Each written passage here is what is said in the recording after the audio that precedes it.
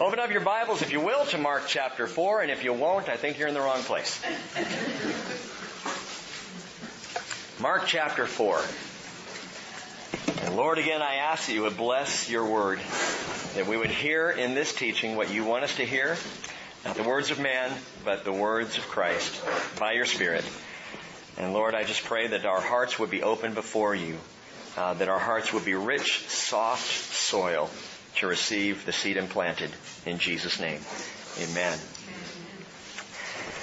Chapter 4 verse 1. He began to teach again by the sea, and such a very large crowd gathered to him that he got into a boat in the sea and sat down, and the whole crowd was by the sea on the land. We begin and end tonight, chapter 4, with Jesus, the rabbi on a rowboat. We start with him in a boat teaching, and we will end with him in a boat uh, saving. And it's a marvelous chapter, and it's one of those where a couple of the parables may be familiar to you. We're going to hit the parables for the first time tonight in the book of Mark. And uh, they may be familiar, but I know I found some things that I hadn't seen before and hope we can share those together. Jesus by the Sea of Galilee. This picture to me is so vivid. First time I went to Israel, the most impressive thing to me was being on a boat on the Sea of Galilee. And now every time we go to Israel, that's a favorite experience of our group. Hop on the Jesus boat and head out into the middle of the Galilee. And once we get out there, they turn the engines off. And we sit there in the silence. You can hear the water lapping up against the sides of the boat. And we will worship and pray there on, on the Galilee. It's just profound and then open up the Word, typically to some story that happened there on the Galilee or by the sea, and we read that together and we share it. Well, that's where we're going tonight. In fact, I invite you to climb on board and listen to the great rabbi teach. Verse 2 says he was teaching them with many things in parables and was saying to them in his teaching, listen, behold, the sower went out to sow. Now, before we get to the sower, another word about the Sea of Galilee. It sits like a bowl, surrounded by hills and mountains all the way around, the Galilee down in the center of it, and you've got some that are sharp crags and cliffs that go up, but other parts where the land just rolls gently up away from the Galilee. Most of that around there is farmland. Those gently rising slopes are very rich soil, and they grow all manner of things in Israel. Not as much as the Sharon Valley, but around the Galilee, it's, it's amazing to drive on that road surrounding the Galilee and to see all that's there. All kinds of produce, citrus and, and melons and dates and pomegranates and even pineapple and banana. And all of this grows around the sea. So as Jesus stands on the boat, you can imagine this. The people are all around the shoreline, dozens, hundreds, perhaps even thousands of them. And they're all around the shoreline. And as we talked about last week, with Jesus on the water and the people on the shoreline, there would be a natural amplification. They could hear very well what he was saying. But Jesus could see all around, even behind the people, and would be noting the farmlands. And Jesus, being the, the marvelous rabbi, the wonderful teacher that he is, used all these things to explain the truth. He often would do that. That's what the parables are, using external things to explain internal things. And so with this first parable in the Gospel of Mark, he says, listen, behold, the sower went out to sow. I don't know if there was someone sowing in that moment, possibly. But a sower went out to sow, and as he was sowing, some seed fell beside the road, and the birds came and ate it up. Other seed fell on the rocky ground where it did not have much soil, and immediately it sprang up because it had no depth of soil. And you can see some of the people standing around listening to this going, oh yeah, yeah, he knows what he's talking about. That's, that's good farming right there. Other seed, well it says after the sun had risen, verse 6, it was scorched and because it had no root, it withered away. Other seed, verse 7, fell among the thorns. And the thorns came up and choked it and it yielded no crop. Other seeds fell into the good soil, and as they grew up and increased, they yielded a crop and produced 30, 60, and a hundredfold. And he was saying to them, He who has ears to hear, let him hear. As soon as he was alone, his followers, along with the twelve, began asking him about the parables. And he was saying to them, To you has been given the mystery of the kingdom of God. But to those who are outside, those who are outside get everything in parables. So that while seeing they may not perceive and while hearing they may hear and not understand. Otherwise they might return and be forgiven. So the apostles get alone with Jesus. They don't have 2,000 years of Bible teaching behind them. They just have the moment. They've just heard the parable of the sower and the soils for the first time. And they're listening. And they get the farming aspect of it, but beyond that, what's he talking about? And so they ask Jesus, what are you talking about here? They don't get it. They know there's something deeper. But they also ask him, why, Jesus, do you teach in parables? Before we go any further, three reasons. There may be more, but three specific reasons that I can think of that Jesus taught in parables. Three essential reasons. Number one, to conceal the truth. Jesus taught in parables to conceal the truth from those who didn't want to hear it. He spoke in such a way that if you were not interested in the truth, if you were not interested in the things of God, if you didn't know, want to know about actual truth, then you wouldn't get any further than the surface. He literally taught to conceal the truth from those who didn't want it. It's kind of nice of Jesus. He respects the person's position. I don't want your truth. Okay. Then you're not going to get it. He also taught in parables to reveal the truth to those who had ears to hear, to those who were hungry for the truth, who really wanted to know. What does God's Word teach about this? How do we walk with the Lord? How do we relate? How does faith grow? The Greek word for parable, parabole, para means alongside, balo means to throw. So literally, a parable is something that you throw alongside. To throw alongside, it's an illustration or a story that you throw alongside using a known truth, you throw alongside an unknown truth. And so Jesus does this. He throws known realities alongside unknown mysteries to explain the unknown mysteries by the known realities. And it's a marvelous tool for teaching, and Jesus was an absolute master of it. But that very method of revelation also conceals the truth, again, to those who don't want to hear it. Proverbs 25 verse 2 tells us it's the glory of God to conceal a thing, but the honor of kings is to search out a matter. You want to be noble-minded? Like the people, the Bereans? If you want to be noble-minded, you search, you dig. You want to know more. You seek to understand more of the truth of God. That's noble thinking. That's what kings do. That's their honor. It's God's honor to conceal a thing, and so people have to respond with faith to understand those things. So the parable works both ways, to conceal and to reveal, but there's a third way, and it's very important, and Mark truly illuminates this for us more, I think, than any of the other gospel accounts. It's to heal with the truth. To heal with the truth. Jesus explains this, this uh, dynamic further by applying the words of Isaiah chapter 6. And I want you to keep your finger in Mark 4 and go back to Isaiah 6. I know we just studied Isaiah, but I believe it was about nine months ago we were in Isaiah 6. So go back and look again. Jesus in Mark 4:12 is quoting directly from Isaiah 6 verses 9 and 10. Now you might note it's not going to be word for word because Jesus isn't trying to give a word for word quote, word for word quote. He's giving an application. Okay? He's applying Isaiah's commission. Isaiah by this time in chapter 6 of Isaiah had been called by God. Now he is being commissioned by God. He's being told by the Lord, here's what I want you to go do. Listen to this. I heard a voice, the voice of the Lord saying, whom shall I send? Who will go for us? And then I said, Isaiah speaking, here I am. Send me.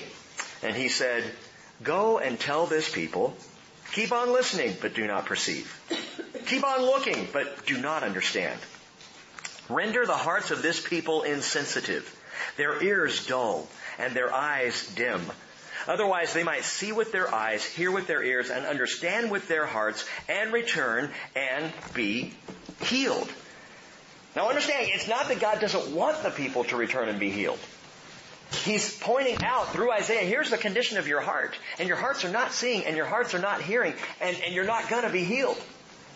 The only way to be healed is to return to me and to see with your heart and to hear also with your heart. But there's a significant difference. between Mark's account of Jesus applying this verse and all others. And it's fascinating to note this. Again, Isaiah chapter 6 verse 10, render the hearts of this people insensitive. Their ears dull, their eyes dim. Otherwise they might see with their eyes, hear with their ears, understand with their hearts, and return and be healed. Now, Matthew quotes Jesus, quoting Isaiah, perfectly. Matthew chapter 13 verse 15. Otherwise they would see with their eyes, hear with their ears, understand with their heart, and return, and I would heal them. John quotes correctly. John chapter 12 verse 40.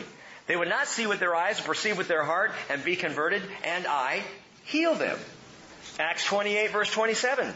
Paul quotes Jesus quoting Isaiah, saying, otherwise they might see with their eyes, hear with their ears, understand with their heart, and return, and I would heal them. And in every case, Isaiah's prophecy, his original prophecy, is quoted correctly, God saying, I would heal them. But Mark turns the phrase differently. Mark hears, or perhaps Peter, if Mark is teaching from Peter's teaching, either way, the Holy Spirit inspires Mark to write it this way. While seeing, they may see and not perceive. While hearing, they may hear and not understand. Otherwise, they might turn and be forgiven.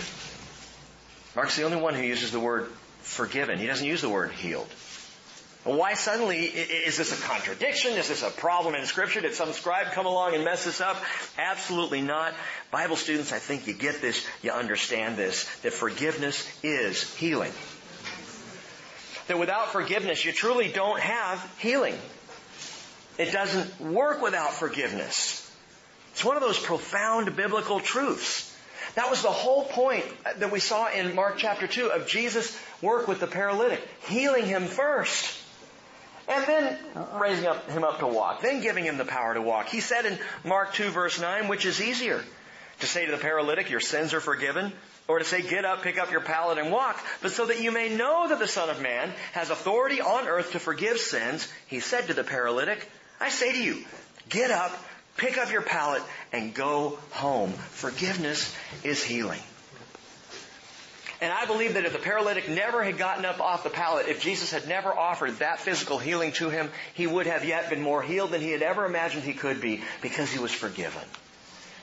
His heart was truly healed by the Lord. You know this. If you've ever been in a relationship that was broken and you were forgiven and the relationship was healed, or you forgave someone, it's a hard thing to do. It takes all of our pride being taken out of the way for us to be able to forgive. But this, this forgiveness of Jesus, don't forget, is supernatural. Because it's not forgiveness for the moment. It's not even forgiveness for the lifetime. It is forgiveness for eternity. And he says, if you will hear with your ears, if you will see with your eyes, if you will understand with your heart and turn to me, repent, turn around to me, I will forgive you which is the ultimate of all healing. Psalm 103 verse 2 says, Bless the Lord, O my soul, and forget none of his benefits. Who pardons all your iniquities, who heals all your diseases. So the parables are to conceal, they are to reveal, and they are given to heal. And Jesus uses all three aspects of this. Now the parable of the sower, again, is the first one in Mark's account, and that is not by chance. It's not accidental. It's not that Mark just was trying to remember the parables. Oh yeah, let's do that one first. I believe it's here on purpose because this parable is the key to all the others. If you don't understand this parable, you're not going to understand the rest of the parables. In fact, Jesus says as much. In verse 13, he says, Do you not understand this parable?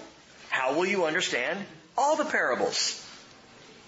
What he's saying here is this parable explains how the word gets into the heart. And if the word doesn't get into the heart, Jesus asks, how will we understand the parables? So we start right here with Jesus explaining how the word gets in. Verse 14, his explanation to the apostles, which we hear with them tonight. The sower sows the word. Okay, so we know right out the bat the seed is the word. Very clear. And as Jesus explains, the soil now is going to represent the quality of the heart. And he now describes four kinds. Verse 15. These are the ones who are beside the road where the word is sown. And when they hear, immediately Satan comes and takes away the word which has been sown in them. I call this soil number one, road heart. This is road heart. Heavily traveled, packed down, hard pan heart. Nothing gets in. So that when the word is cast on this heart, it's immediately taken away. Satan grabs hold of it and makes off with it. It's the soil of the seared conscience. It's the soil that just can't get God's Word in. It doesn't get beyond the surface at all. It doesn't even penetrate. Not in the least. And many of the Pharisees suffered from road heart. And we see this in their interactions with Jesus. Why and how they suffered from road heart. They had the Word, right? I mean, they were the guardians of the Word. Thank God for the Jewish people. Paul refers in Romans chapter 9 to this, that one of the things that they did was protect the Word for us all these many years. They were fierce champions of God's Word, of Torah law, of the prophets. They kept the scrolls. They guarded the scrolls. They nitpicked the scrolls, but they took care of all of this. It mattered so much to them, the Word, the Word, the Word. But their problem was, the Word to them was all about law and doctrine and never about love and devotion. And that's where they missed it. And that's why rather than having hearts softened by the Word, they had hearts that had become hardened. They had the Word, but they couldn't see the Word. What do you mean? John 5:39 says you search the scriptures because you think that in them you have eternal life. It is these that testify about me, Jesus says. Hebrews 10:7, and I know I always use these three verses together, but I'm going to continue to do so. Hebrews 10:7, in the scroll of the book it is written of me, Jesus says. Revelation 19:10, the testimony of Jesus is the spirit of prophecy. And if we approach the Bible any other way than but looking for Jesus in the Word, the Word in the Word, the living Word in the written Word, we will miss the meaning of the Word. In fact, this Word can even harden your heart if you're not looking for Jesus with love and devotion. You're not approaching it to know Him better. Turn over to Hebrews chapter 4 just for a second. Hebrews chapter 4. And you might note this, the verse isn't up there behind me, but I just thought about this, talking with a brother this morning. It tells us in Hebrews 4:12, "For the word of God is living and active, sharper than any two-edged sword, and piercing as far as the division of soul and spirit, of joints and marrow, able to judge the thoughts and the intentions of the heart. Now I mentioned Sunday that all aspects of who we are, the, the Trinity, if you will, of humanity is mentioned in this verse. Uh, piercing as far as the division of soul, that is our, our soul man, our mentality, our intellect, and spirit, that is who we really are. And even joints and marrow, our physical selves. All three mentioned, soul, spirit, and, and body. But note this, and I have done this many, for many years in ministry. I use this verse to hold up the Word of God. The Word of God is living and active. It is. It gets in there. It's incisive. It cuts. It does what needs to be done. What's the Word of God? Jesus is the Word of God. It shouldn't even be a what question. It's a who question. Look at the next verse. And there is no cr- creature hidden from His sight. Whose sight? The Word's sight. Wait a minute, my Bible's looking at me? No, Jesus is. Because He is the Word made flesh who dwelt among us. And so He is the one who is living and active, sharper than any two-edged sword. We know out of His mouth in Revelation comes the sharp two-edged sword. Right? He's the Word. And this Word that we have in our hands, the Bible, proclaims Jesus from Genesis chapter 1 verse 1 to the very end of Revelation. It is all about Jesus. It is for Jesus. And road hearts cannot receive the Word implanted because they miss that the Word is Jesus. And if we go to the Word looking for Jesus, our hearts are softened, the soil is good, and we receive the Word. The Pharisees didn't do that. They went to the Word for the Word. That is the written Word. I love the Bible, by the way. I love the stories. I love the commands. I believe, actually, that, that you can read this and have your life altered and changed simply by being obedient to what it says. But to truly have the Word get in and change you eternally, you gotta be looking for Jesus. Paul said to Timothy in 1 Timothy 6 3, if anyone advocates a different doctrine and does not agree with sound words, those of our Lord Jesus Christ, and with the doctrine conforming to godliness, he's conceited and understands nothing, but he has a morbid interest in controversial questions and disputes about words. That's exactly what the Pharisees and the scribes and the Sadducees did. They disputed about words. They argued over meaning. And they missed Jesus when the Word came in flesh. I'll tell you, gang, the, the Pharisees are a cautionary tale to all of us. To anyone who would make Scripture about Scripture rather than seeing Scripture being about Jesus Christ. And the danger is that if you look at Scripture without Jesus, it will harden you. Verse 16. Back in Mark 4, verse 16. In a similar way, now we get to the next soil. These are the ones on whom seed was sown on the rocky places, who when they hear the word immediately receive it with joy. And they have no firm root in themselves, but are only temporary.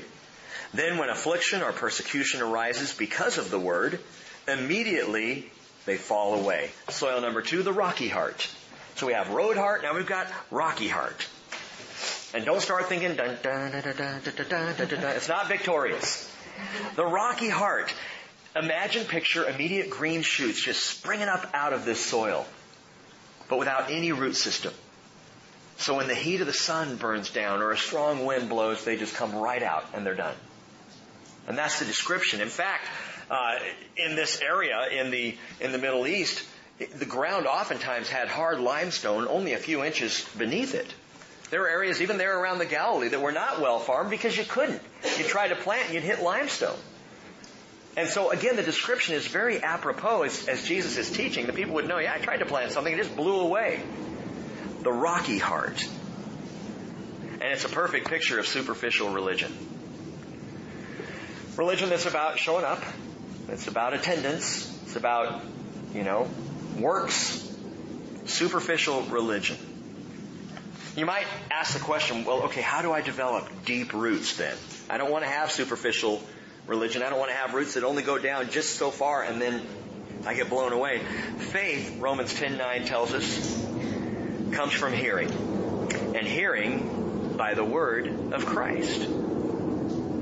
Hearing by the word of Christ. Literally in the Greek, if you were reading that, it says hearing by the word Christ. And as we just talked about, the word is Christ. Faith comes by hearing the word Christ. What are you saying, Rick? I'm saying if you invite the word Christ into you, then get into the word of Christ, His word will get implanted deeply in your life. Invite Christ in, get into Christ. Again, we're all focused on Jesus here. But the rocky heart doesn't get far enough.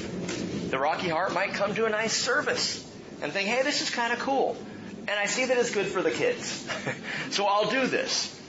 But the roots don't go deep. And when it gets tough, and by the way, it will, Bible tells us, there's no firm root. When affliction or persecution arises because of the word, immediately they fall away. Note that. Persecution because of the word makes a person say, oh, well maybe I don't want this word. this word's too hard. This word's now causing me trouble. I oppose those preachers who stand up and say, come to Jesus and life will be good. The truth is, and many of you know this, come to Jesus and your life could take a turn for the worse.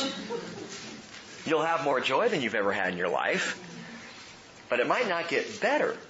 Or it may get marvelously better and then get bad later on. And then get better again and then be bad. You know, there's no guarantee that this life, this temporal life is going to be great. The guarantee is that it's going to be joyful all the way into eternity, which by the way will be great. But we're told by Paul in 1 Timothy 3:12, indeed all who desire to live godly in Christ Jesus will be persecuted. You're going to face it.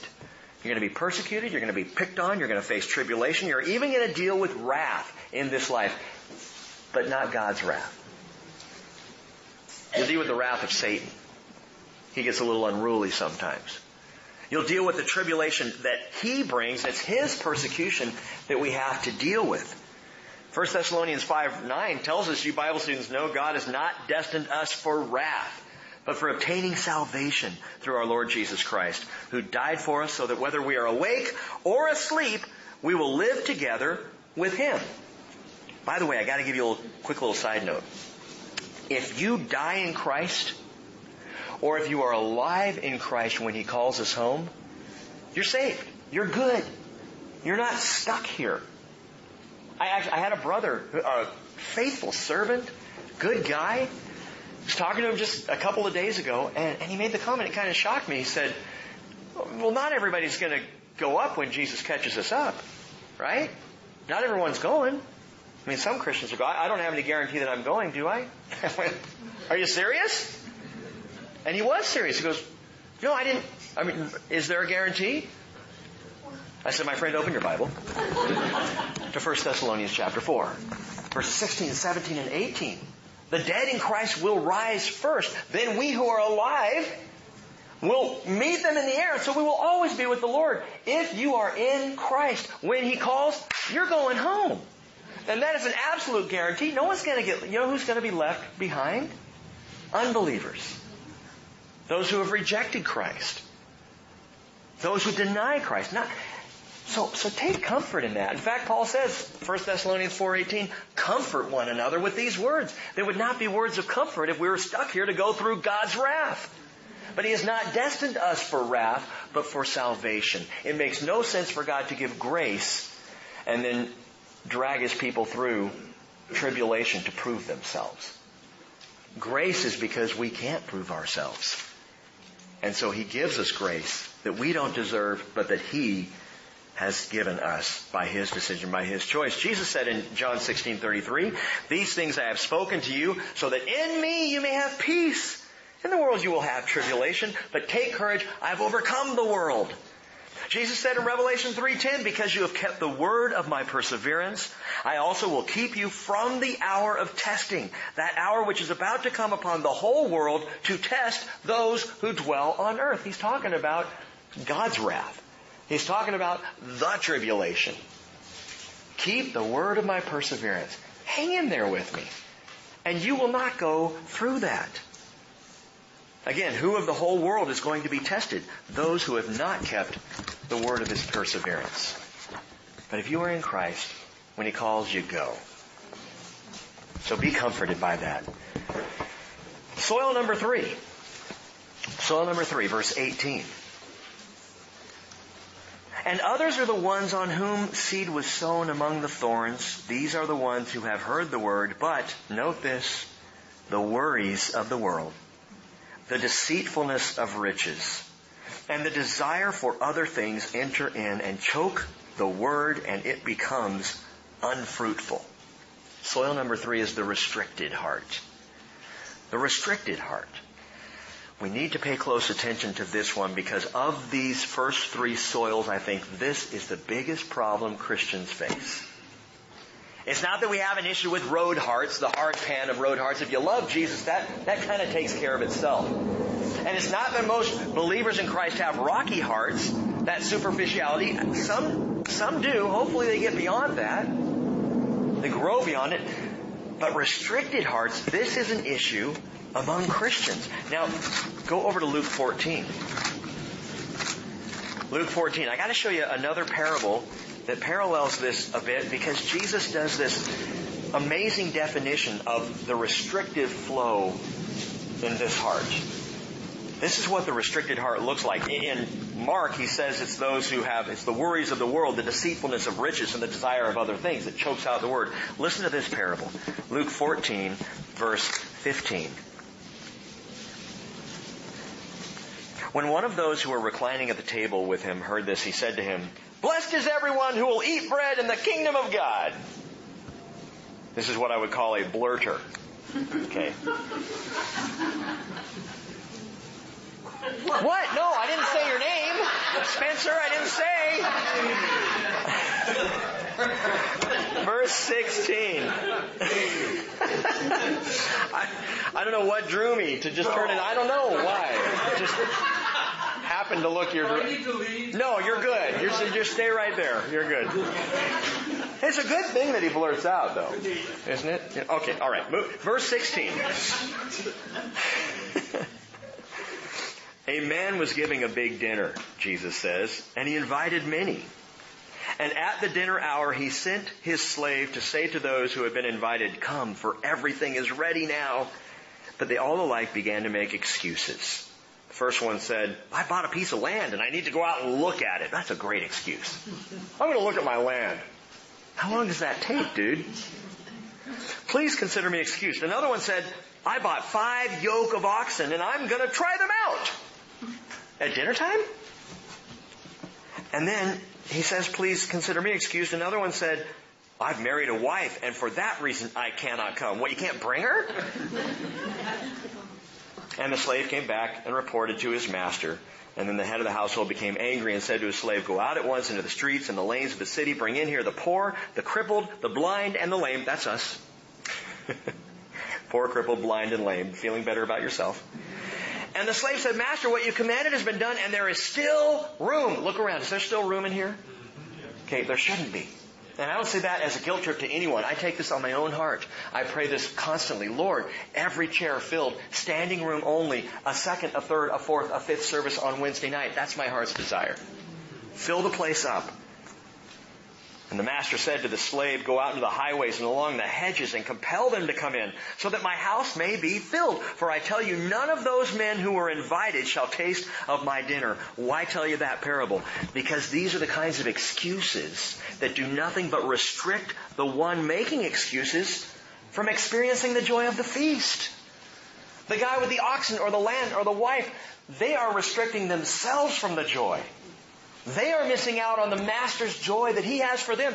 Come have the feast. It's, it's not going to cost you anything. It's going to be amazing. It's going to be the time of your life. Come on in. And they go, I'm busy. The worries of life. I got things going on. I've got, I've got five yoke of oxen now. The deceitfulness of riches. I have a desire for other things. The wife. And it becomes a choking of the word, Jesus says. Restricted hearts. We restrict ourselves from the very freedom and feasting that God has welcomed us to, that He has invited us into. Come and dine with me. Come and enjoy the joy of, of your Master. And it happens when we get too wrapped around the axle of the inconsequential material matters of this life that do not compare and you sitting here tonight understand that. And as I've said many times, I know on Wednesday nights many people hit the ground running and they come home from work, they grab a bite and they're back over here as fast as they can and they come here and they sit down and it may be the first time all day long, all week long that you've actually sat. And I've had people say, and I was exhausted when I walked in the barn and afraid I was going to pass out, you know, during worship. And then you start to feast and you start to hear the word of the Lord and you start to get caught up in the prayers of the saints and you fellowship. And when you walk out, you're more filled than when you came in. And that's just, a, that's a weak little example. That's just, actually that's a once a week example is what that is. It's tiny. It's not, doesn't even compare to the feast that God offers. And yet, Christians will do this. We will restrict our own hearts from being able to receive the word because we are too busy too caught up in this deceit of riches, too interested or desiring in other things that will not last. They're all going to burn anyway. This will not burn. Human lives caught up with Jesus are eternal. All these other things choke out the effectiveness of the Word. One of the things you might ask yourself if you're having trouble with Bible study, trouble understanding the Word of God, trouble getting into the Word, ask yourself, how is your schedule? Something as simple as that. Maybe you need to loosen it up a tad. We talked about a couple Sunday mornings ago. How many of you have started early morning devotions? Don't raise your hand, but I'm just asking rhetorically. How many have started meeting God in the morning for prayer? And if you haven't, why not? Well, Rick, you don't understand. Let me, let me tell you about my morning, Rick's morning. The alarm goes off at 6.30 and we are getting little ones ready for school. Naomi's got to be out the door by 7.30. Hayden and Anna Marie, they've got to be showered and dressed and ready for breakfast at 7.30. Cheryl's running like, you know, a banshee around the house. And I'm trying to get just myself ready, which is enough trouble. and, and the, you know, we hit the ground running. I don't have time. I don't have the energy to get up earlier so that I can devote time to the Lord. Well, guess what I've just done? I've restricted my heart from feasting with God. And that's the deal. It's not a guilt trip thing, and it's not that someone who gets up for early morning devotions is more spiritual than you are. But I tell you one thing, they'll be more filled. They'll enjoy more of the fellowship of the Father that will then run throughout the entire day. The restricted heart. But there's another quality of heart soil. This is the one we want, and it is the reproductive heart. Number four, the reproductive heart, verse 20. And those are the ones on whom seed was sown on the good soil. And they hear the word, and they accept it, and bear fruit 30, 60, and a hundredfold. Soil number four, the reproductive heart. And Jesus said three things happen right off the bat when the seed sinks into this rich, loamy soil. The word is heard. Not just listened to, it's heard. The word is accepted. That is, the transplant has worked. Now it, it's, it's, it's received. And thirdly, the word bears fruit. Understand what that means. The 30, 60, and 100 fold crop does not refer to your well-being and mine. The word bears fruit. I'm feeling productive today because I was in the Word. I'm a productive Christian today. No, you're not, you fruit. the Word bears fruit in you, and the fruit that it bears, listen, is other well-sown hearts. What are you saying, Rick? I'm saying the good soil now becomes the sower. You might note at the very outset of this, verse 14, I said the sower sows the word. Originally in my notes I had, who is the sower? Jesus, of course. Jesus sows the word. He's the sower of the word and he is the word, so he's the sower and the word. But guess what? The rich, deep heart that accepts and receives the word of God, Jesus, that heart now becomes a sower of the word of God on other hearts. And the crop that comes in, the 30, 60, 100 fold, are other people saved. Because you and I have received the word implanted. That's how it's supposed to work. That's what Jesus is describing here through this whole thing. And yet, I, I think maybe we're more like the old hymn. Are you sowing the seeds of the king, dumb brother? King, dumb brother?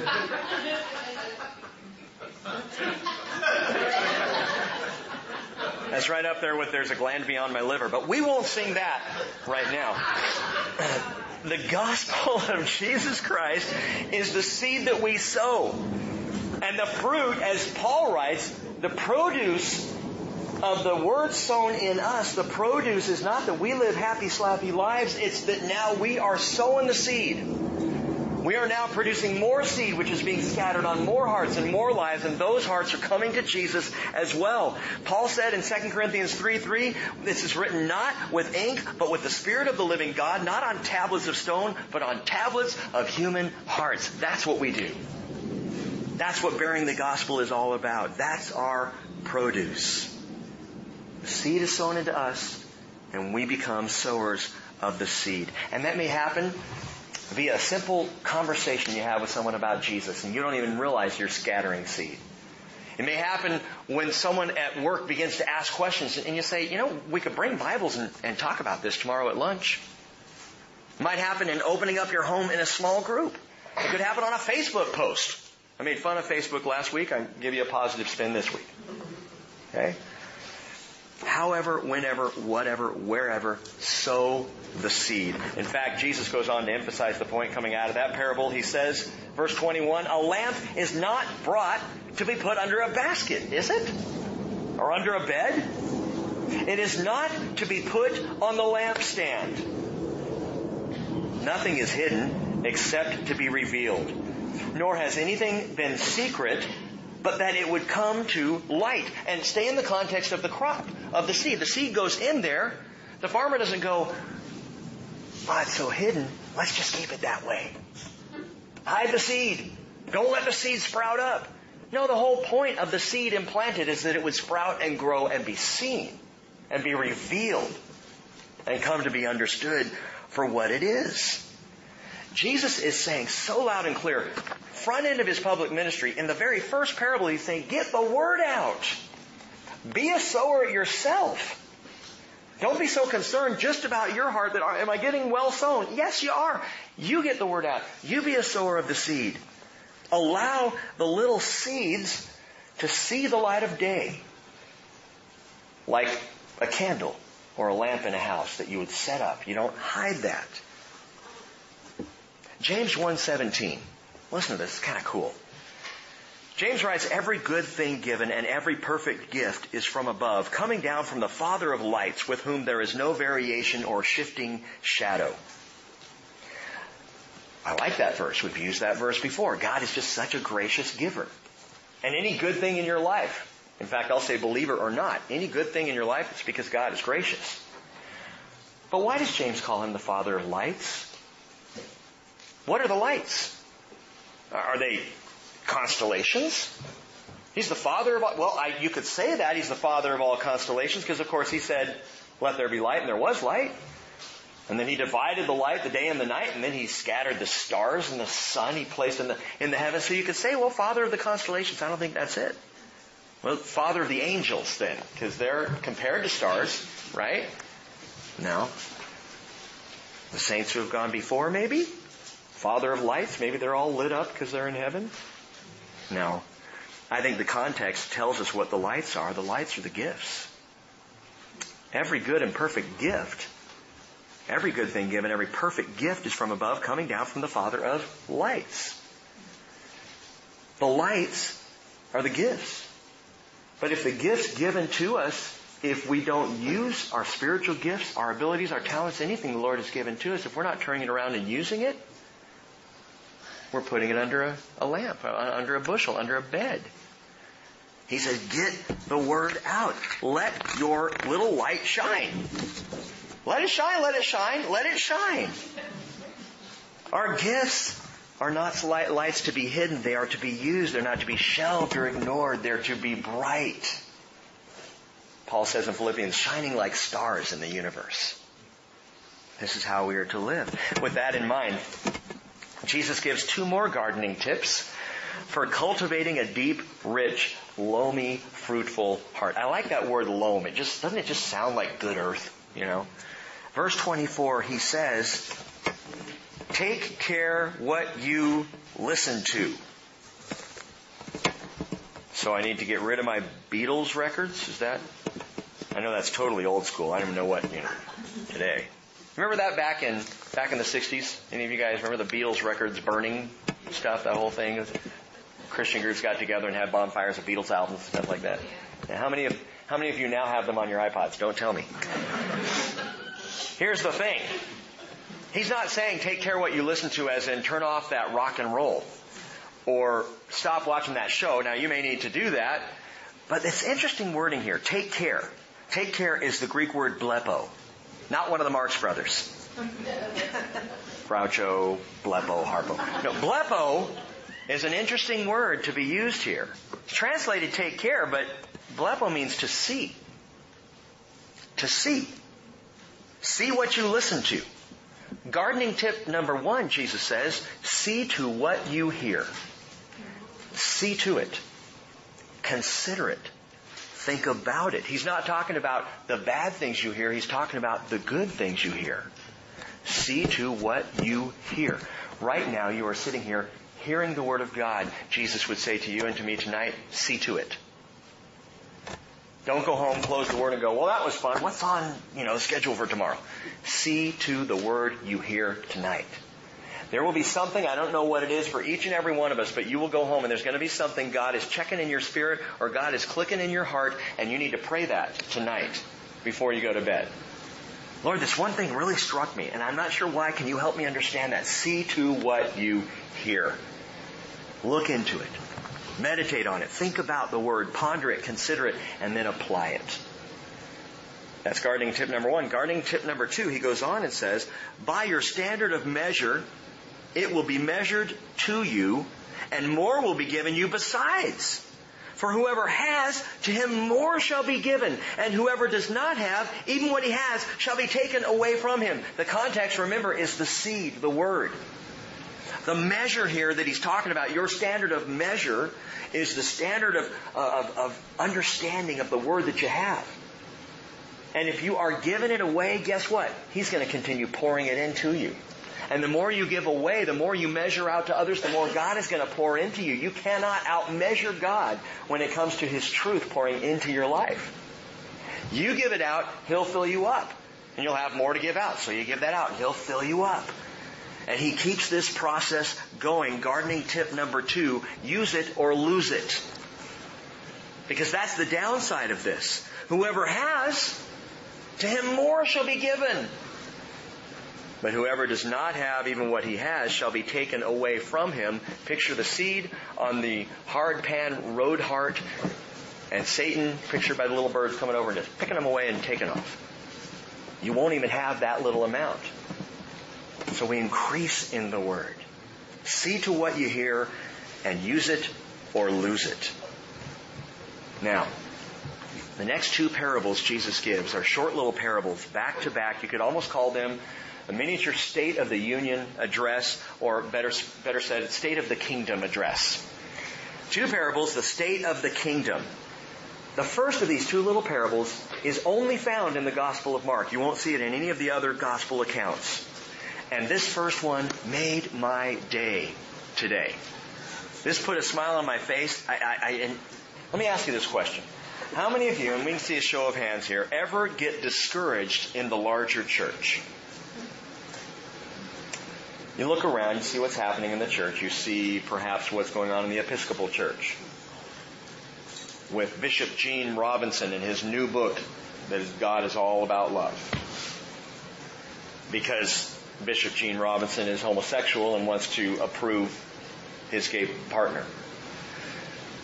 You look at what's happening in denominational Christianity in the Methodist Church and the Presbyterian Church and across the board in so many churches that are waffling because of culture and trying to be relevant to culture instead of just being true to the Word of God.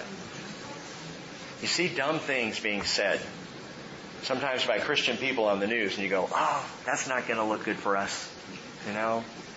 And you almost just want to walk in the barn, close the door behind you, and go, okay, we understand each other, right?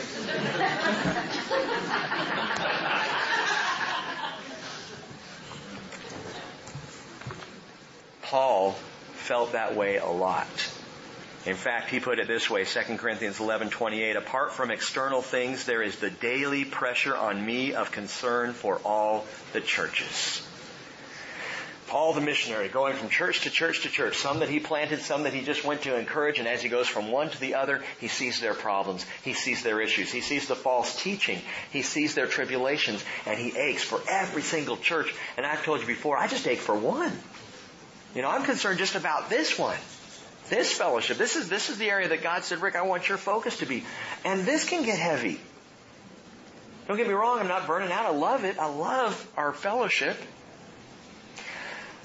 But that daily concern, that burden, you look around and I, I shared with a friend this morning. Sometimes I wonder if the last great revival is behind us.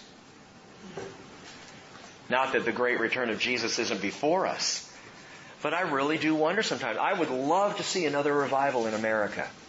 I would love to see another mass revival on planet Earth. I'm not sure that we will. Current state of things, the state of the kingdom. I look around and I think, wow, Maybe we've already seen the best that it's going to be and we just need to hang on until Jesus comes. If you ever have felt that way, listen as Jesus describes two things here, two different parables, the spiritual state of the kingdom. The spiritual state of the kingdom, verse 26. And he was saying, the kingdom of God is like a man who casts seed upon the soil, staying with this picture. And he goes to bed at night and gets up by day and the seed sprouts and grows. How? He himself does not know. The soil produces crops by itself. First the blade, and then the head, and then the mature grain in the head. But when the crop permits, he immediately puts in the sickle because the harvest has come. Let me tell you all a secret. Please don't tell anyone else I told you this. As I record this. Here's the secret. I really don't know what I'm doing. I, yeah. Woohoo! It's like getting on a roller coaster you've never been on before, and off you go, and you don't even know what's in the next turn. How many loops we're going to hit next time around? Are we going straight down into the ground or straight up a mile high? I have no idea. I really don't know. I don't know how this works. I sat there Sunday morning and we were talking about the man with the shriveled hand, Mark chapter 3. You know, stretch out your hand.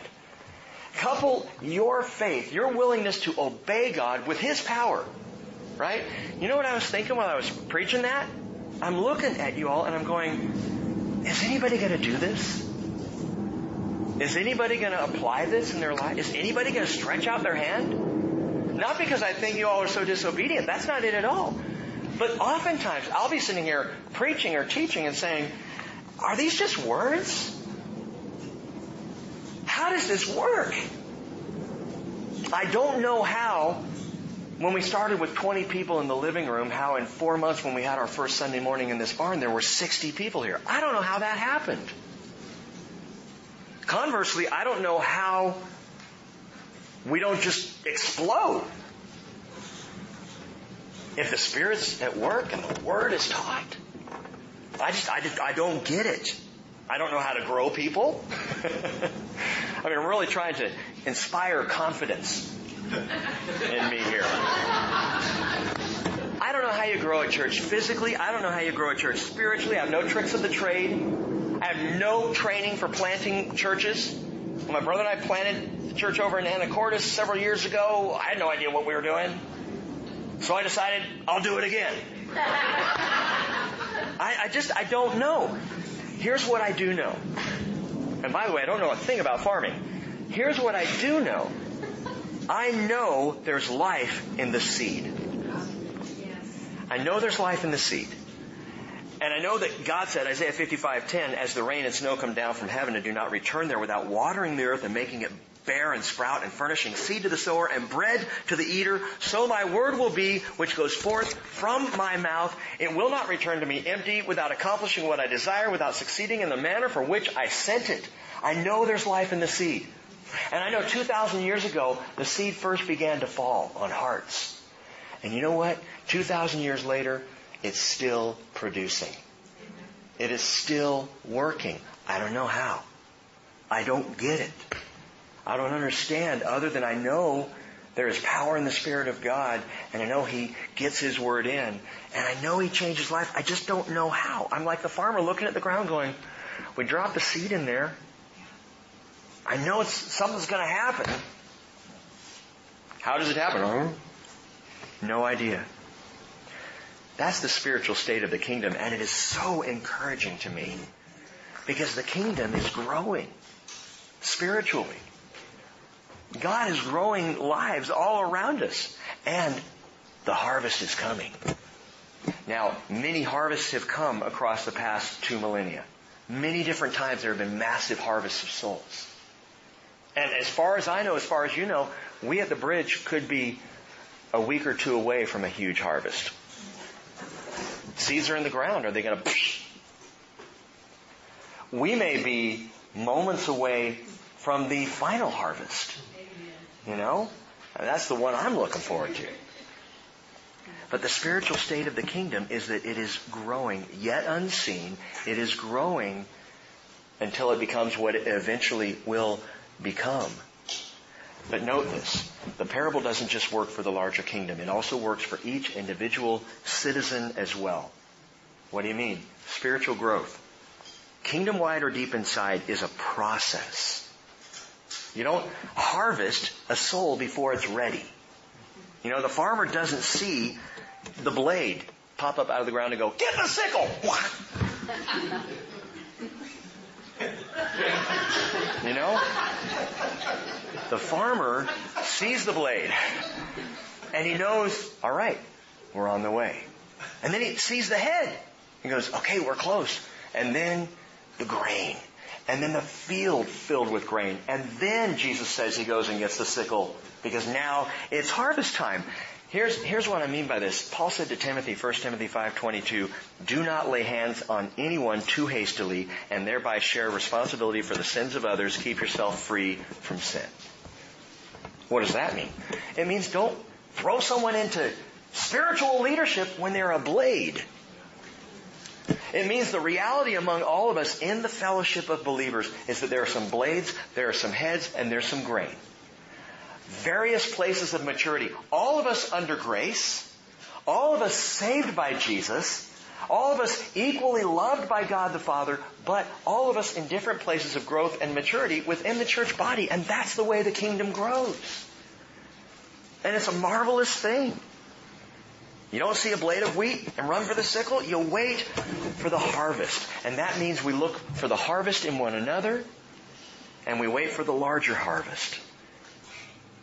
So all that to be said, what is the key to farming? Is it knowing how to grow a church? No. It is faithfulness to what God calls us to. Period. And this is what my friend, it was Ray, Ray Rimp this morning said to me, Rick, all you have to do is what you're doing. Just be faithful. And don't worry about the harvest because whether another harvest comes, in terms of like a revival or something, or Jesus comes back, just be faithful.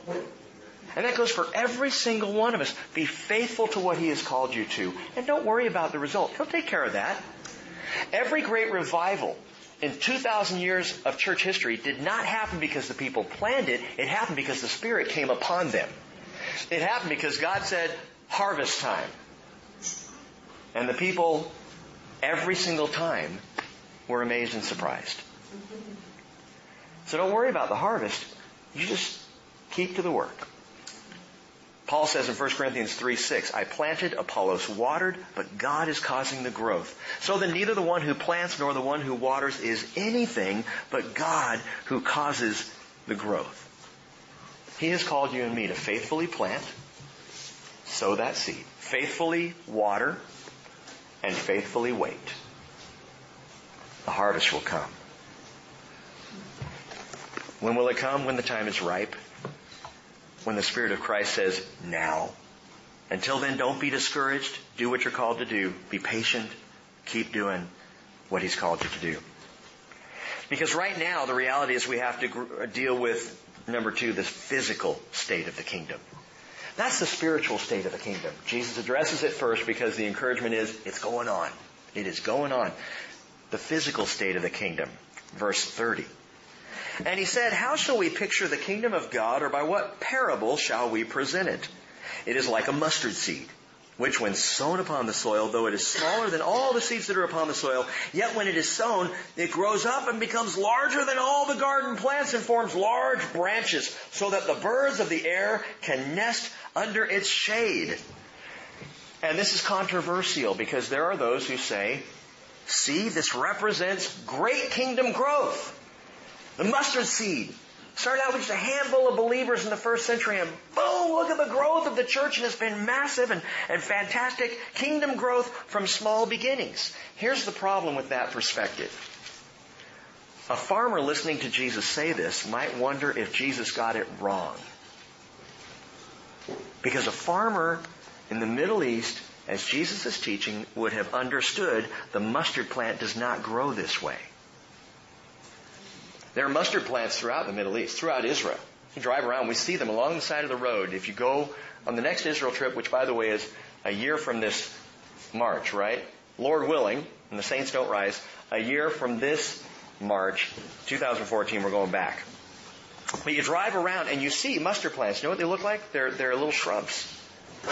They're spindly, spiny little things. They are not strong enough to hold a bird's nest, much less to give shade. That's not what the mustard seed does. So the picture's not right. Well, Jesus wasn't a farmer, so maybe he just didn't understand how, you know, plants work. Okay. He created the plants. So he knows how they work, but something's amiss in this picture he's giving of the physical state of the kingdom, the visible kingdom. What he is portraying here, gang, is a vast, indiscriminate, all-inclusive, powerful, world-dominating organization, a global church that is not concerned with truth so much as numbers. It does not reflect the quiet spiritual growth of the previous parable. And what fills this mustard tree? It's something evil. It is something satanic. It is something foul. Birds. Which is why it's foul. It's a foul in the mustard plant. Foul birds. Birds, foul. I'm not just winging it up here, okay?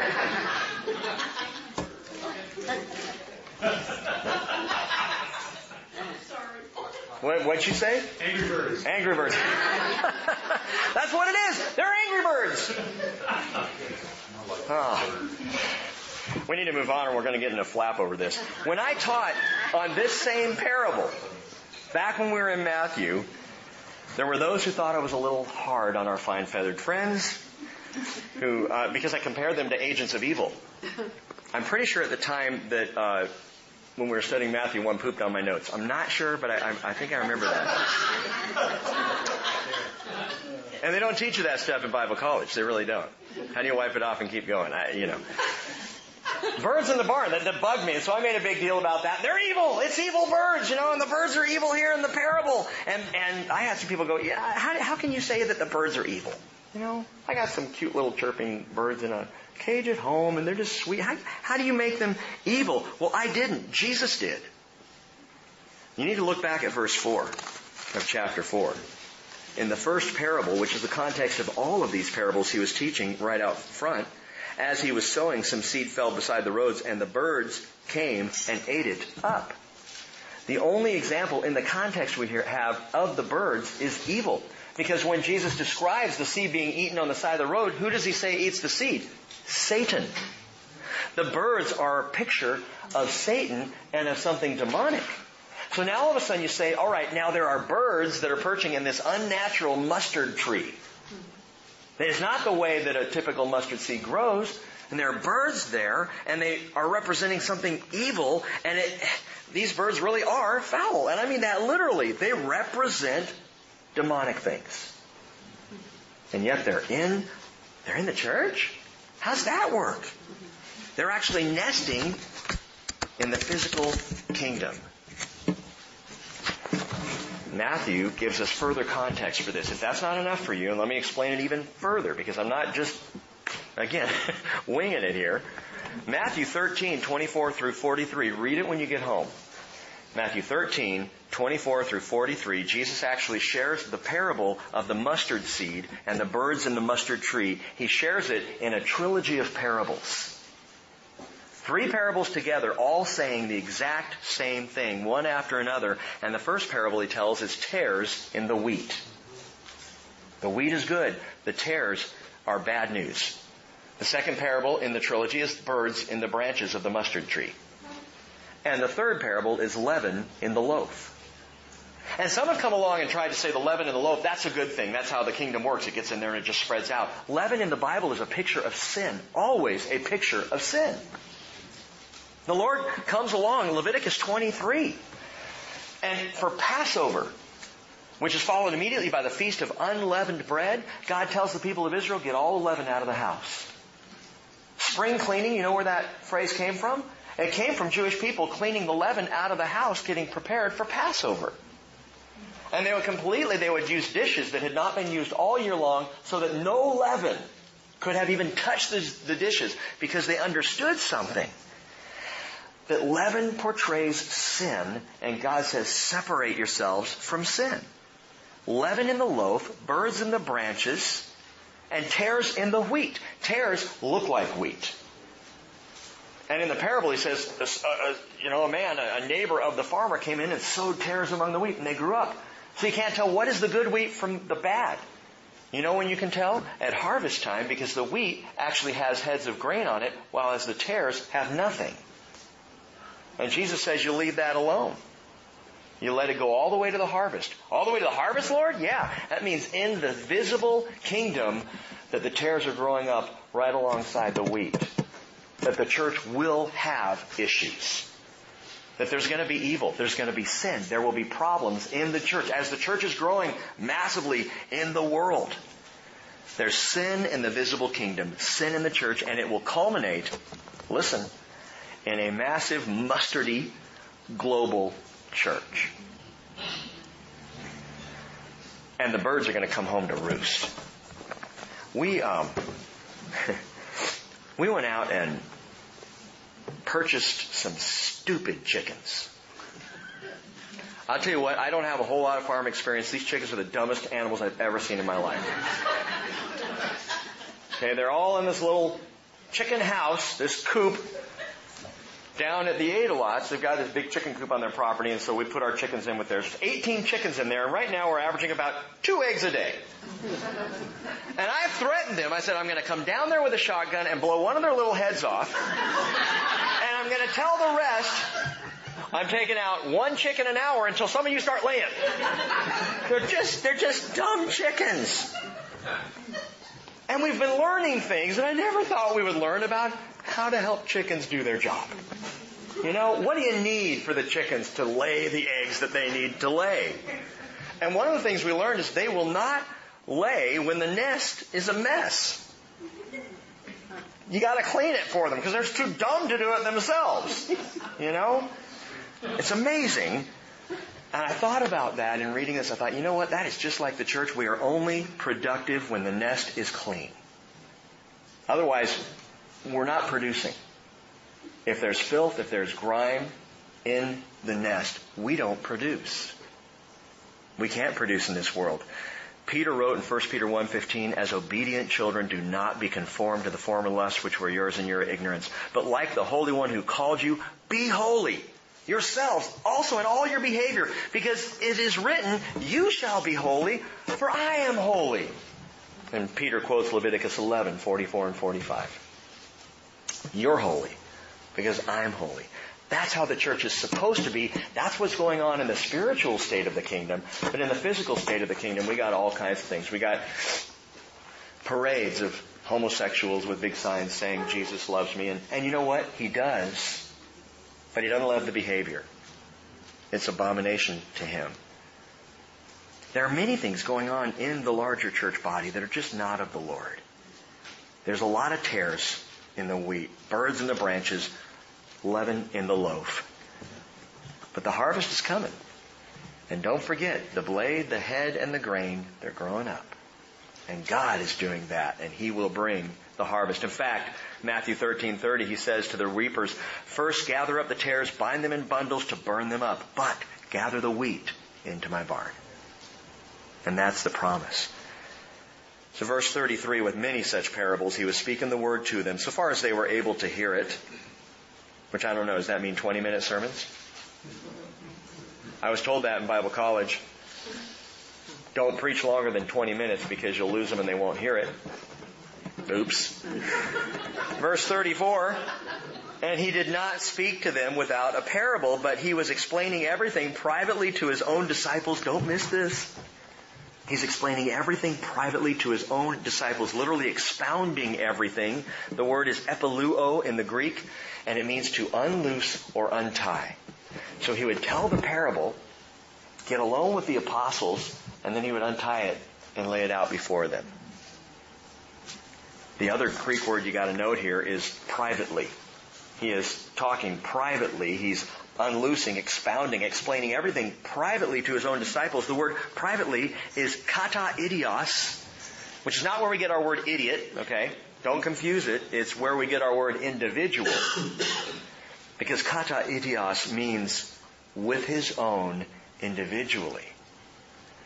And Wuest says what he's talking about where he says with his own is literally the apostles, not just a bunch of disciples, but the twelve specifically. When he got alone with the twelve, Mark 4:34 in the King James translates really nicely. It says, "When they were alone, he expounded all these things to his disciples." So don't miss this. It's when he expounds or illuminates all things to us. When? When we get alone with him. When we stop and we listen. These were private Jesus conferences.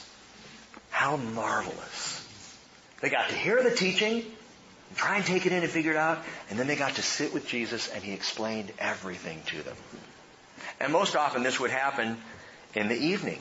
After all the crowds went away, they all went home in the evening.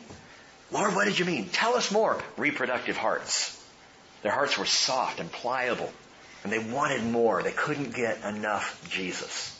Tell us more, Lord.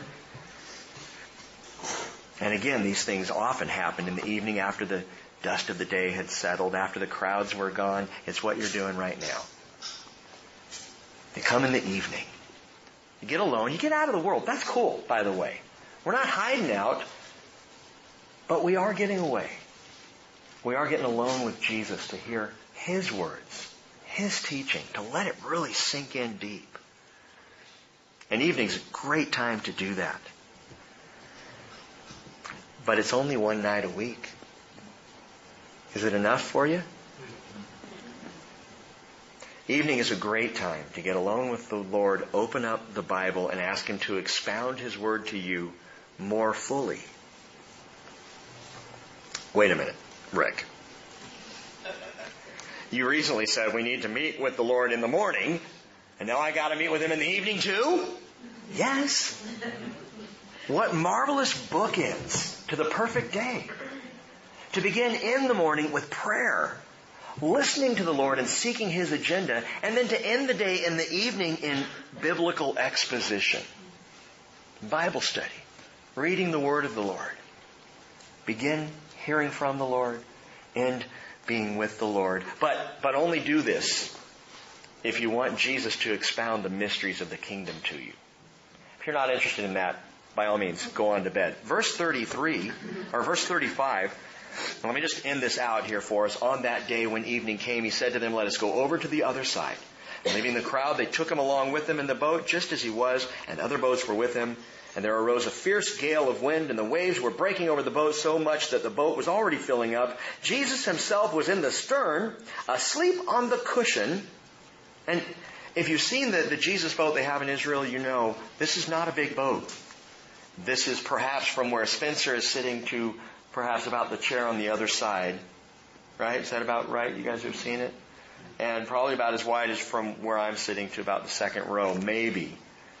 That's about the size of the boat. Twelve guys plus Jesus asleep in the stern. And he's not down in the hold in a nice little cabin with windows. He's on a cushion on top in the stern, and the waves are just rocking, and the rain's coming down, and the wind is blowing. He's sound asleep. He's totally at peace. On a cushion and they woke him and they said to him, Teacher, do you not care that we are perishing? And he got up and rebuked the wind and said to the sea, Hush, be still. And the wind died down and it became perfectly calm. And he said to them, and I can imagine him rubbing the sleep out of his eyes, Why are you afraid? Do you still have no faith? And they became very much afraid and said to one another, Who then is this? that even the wind and the sea obey him. Who is this rabbi on a rowboat? Now note this, the only thing I want to say about this story. We started with Jesus in the boat teaching. We end with Jesus in the boat and he's still teaching. Only right now you might call this storm an apostolic pop quiz all the things they had learned, all that they had learned from Jesus, understood from him all day long, now have a pretty dramatic application.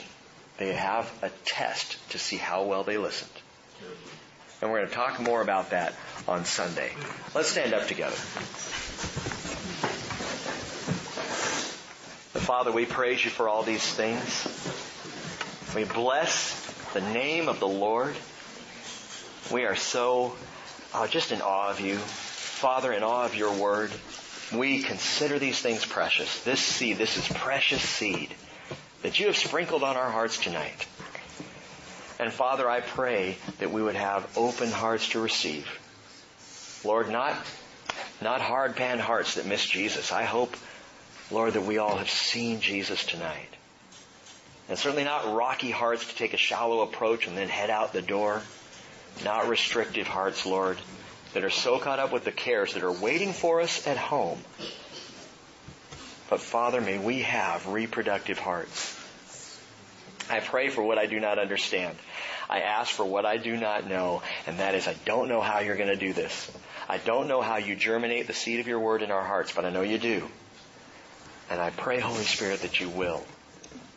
I ask for each and every one of us that we might experience the crop of 30 or 60 or 100 more people, Lord, who know Jesus because of your word germinating in our hearts.